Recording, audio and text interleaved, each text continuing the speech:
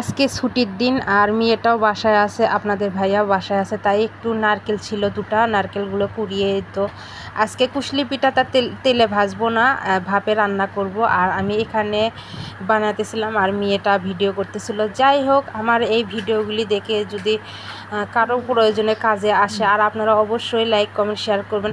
আসসালামু আলাইকুম, সবাই কেমন আছেন? আশা করি সবাই ভালো আছেন। আল্লাহ রহমতে আমরাও ভালো আছি।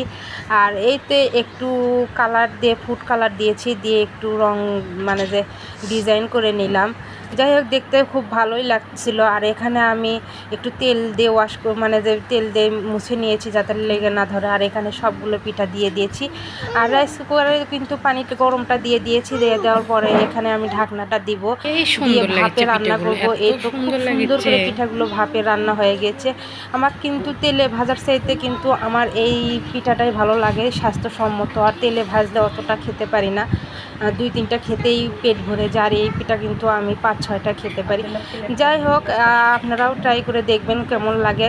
আমার তো খুবই ভালো লেগেছে। দেখতে কিন্তু অসাধারণ। সবাই সুস্থ থাকবেন, ভালো থাকবেন। আল্লাহ হাফেজ।